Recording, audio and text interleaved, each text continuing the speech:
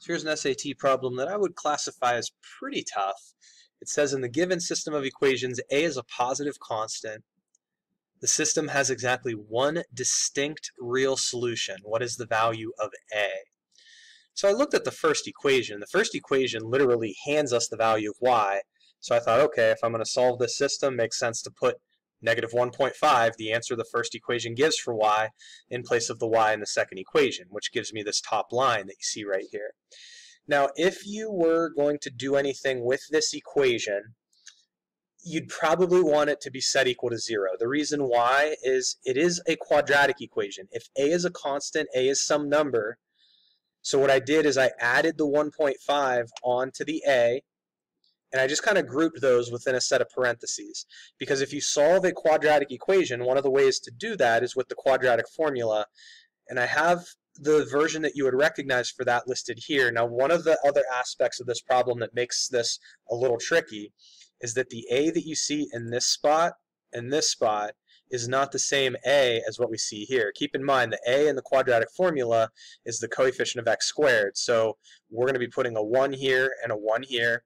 We'd be putting an 8 in place of the b's, and then we'd be putting a plus 5 in place of the c.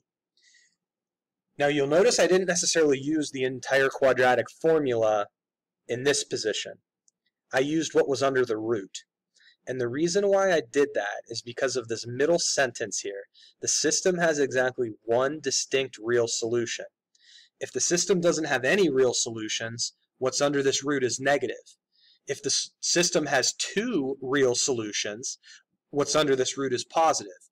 If there's only one distinct solution, what's under this root has to be zero because adding or subtracting zero doesn't give us any new result. It only leaves us with the one result. So what I did is I took what was under the root, which is called the determinant, not the determinant, that's for matrices, the discriminant of the quadratic formula, and I set that equal to 0. And then I plugged in the values that we talked about a minute ago. So 8 went in place of B, 1 went in place of the A from the discriminant, and then A plus 1.5 went in place of the C. And I was looking at this equation and I thought, well, this is just negative 4 times this set of parentheses. So I can add that entire piece to the right-hand side. I can then undo that multiplication by dividing both sides by 4. And then I can subtract 1.5.